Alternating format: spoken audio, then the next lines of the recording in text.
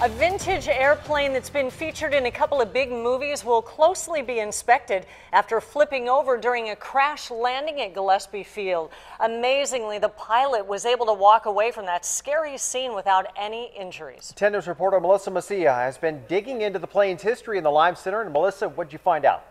Well, Stephen Kim, it is not just any plane. It's a pretty well-known one. You see it here, featured at the Planes of Fame Air Museum in Chino. Now let's go back to the video here from Sky 10. Sky 10 was overhead when the plane made a hard landing and you could see it flipped over. The pilot, like you mentioned, was not injured.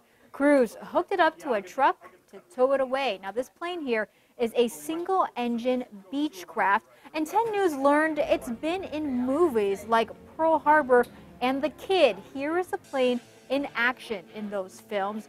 Right now, the FAA is investigating the incident. It's still unclear exactly, though, why the plane was at Gillespie, if it comes here regularly, or if it was here for a special event. Again, only the pilot was on board at the time. Here in the Live Center, Melissa Mecija, back to you.